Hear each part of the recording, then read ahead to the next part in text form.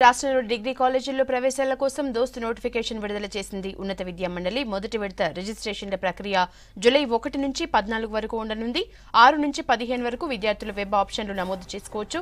ఇరవై రెండున సీట్లు కేటాయిస్తారు. ఇరవై మూడు నుంచి ఇరవై ఏడు వరకు విద్యార్థులు కాలేజీల్లో రిపోర్ట్ చేయాలి.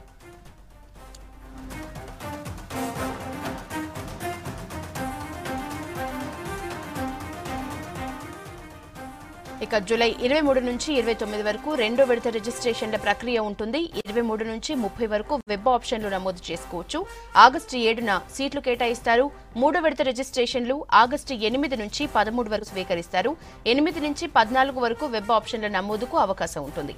ఆగస్టు పదమూడున సీట్లు కేటాయిస్తారు. సెప్టెంబర్ ఒకటి నుంచి డిగ్రీ తరగతులు ప్రారంభమవుతాయంటున్న దోస్త్ కన్వీనర్ లింబాద్రితో విజయ్ ఫేస్ టు ఫేస్. ఫలితాల తర్వాత దోస్తు నోటిఫికేషన్ విడుదల చేస్తామని ఉన్నత విద్యా మండలి చెప్పడంతో ఈరోజు దోస్తుకు సంబంధించి నోటిఫికేషన్ను హైయర్ ఎడ్యుకేషన్ విడుదల చేసింది. సో ఈ కరోనా సంక్షోభంలో కాలేజీలు ఏ రకంగా నిర్వహిస్తున్నారు?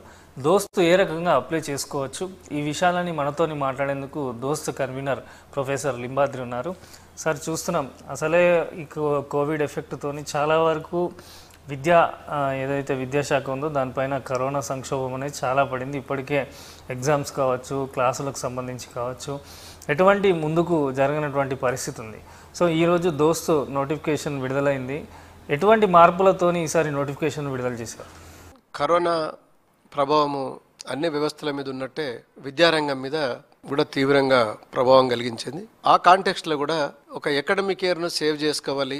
స్టూడెంట్స్ అకాడమిక్గా టోటల్గా లాస్ కాకూడదు అనేటువంటి ఉద్దేశంతో రాష్ట్ర ప్రభుత్వం కానీ స్టేట్ కౌన్సిల్ కానీ యూనివర్సిటీస్ కానీ యూనివర్సిటీ గ్రాంట్స్ కమిషన్ కానీ రకరకాల ప్రయత్నాలని ప్రయోగాలని విద్యార్థుల శ్రేయస్సు కొరకు పెట్టడం జరిగింది.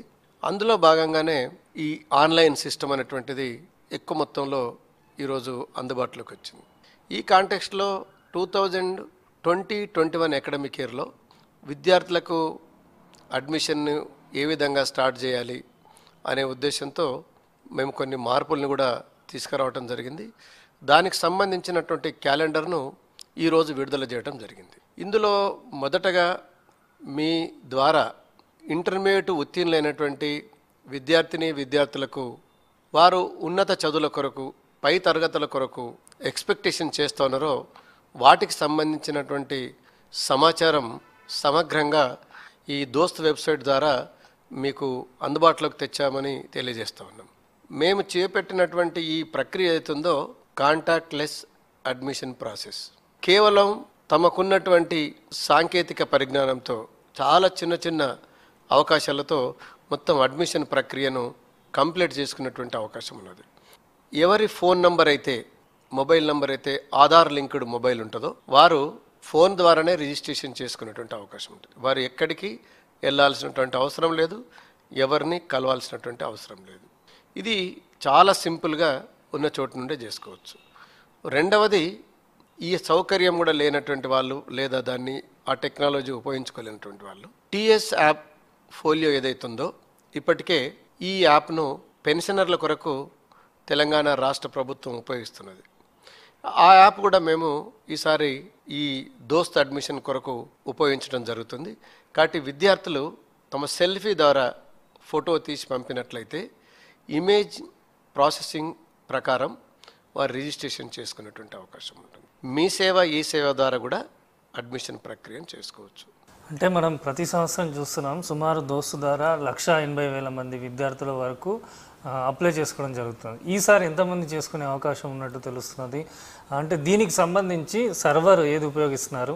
ఏ సంస్థతో కలిసి పనిచేస్తున్నారు అంటే ఈ నెట్వర్క్ ఇష్యూస్ కానీ ఇటువంటి ప్రాబ్లమ్స్ రాకుండా. దోస్తుకు సంబంధించి మొదటి నుంచి కూడా సెంటర్ ఫర్ గుడ్ గవర్నెన్స్ వారి కొలాబరేషన్ తోటే ఈ అడ్మిషన్ ప్రక్రియను చేస్తున్నాం.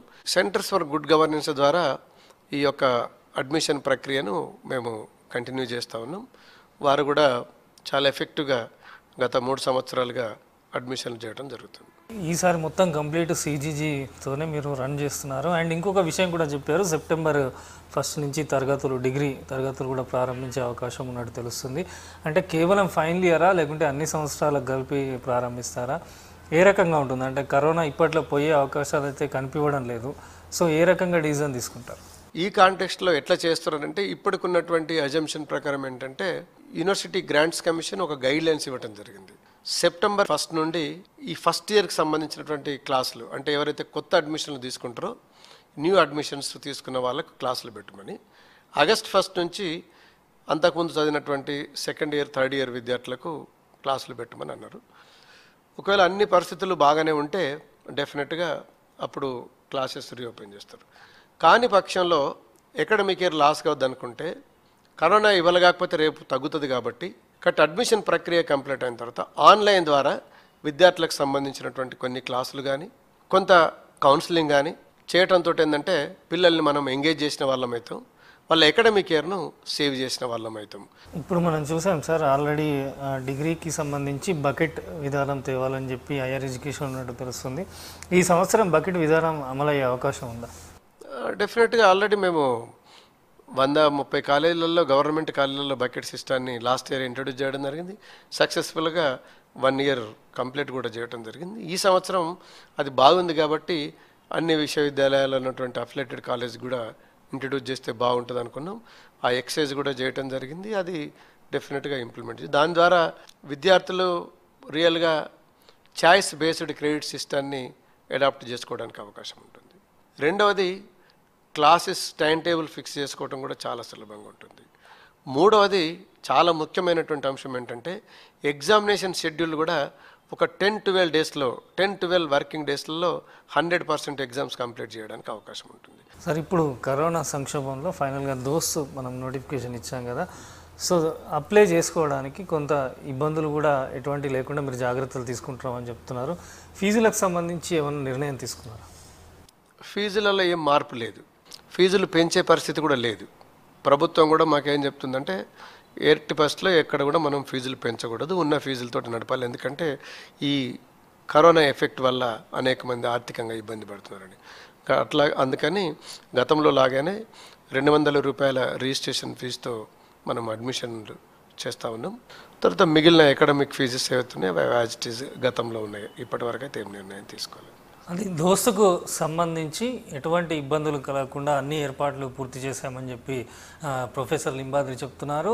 యూజీసీ నిబంధనల ప్రకారమే ముందుకు వెళ్తున్నామని సెప్టెంబర్లో డిగ్రీ ఎవరైతే ఫ్రెష్గా ఫస్ట్ ఇయర్ స్టూడెంట్స్ ఉంటారో వారికి క్లాసులు ప్రారంభించే దిశగా ప్రయాణిస్తున్నామని కరోనా పట్ల పూర్తి జాగ్రత్తలు తీసుకొని అన్ని ఏర్పాట్లు పూర్తి చేస్తున్నామని చెప్పి లింబాద్రి చెప్తున్నారు. కెమెరా పర్సన్ శ్రీనివాస్తో విజయ్ విజిక్స్ న్యూస్ హైదరాబాద్.